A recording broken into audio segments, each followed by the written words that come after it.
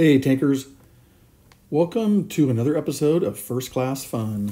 Today we have a first class, couple of first class games from Coach Mike, and he's going to turn into really good, super heavy performances in the VK100P and the E100. And it is a double feature that is just shows the domination of the German super heavies and what a little bit of good play can do they were both great games. I definitely think that they were both probably really close on becoming um, aces, but they're both great games either way. And looks like Coach Mike is close to pulling out an ace in, in both of these, so we're gonna have to watch for that.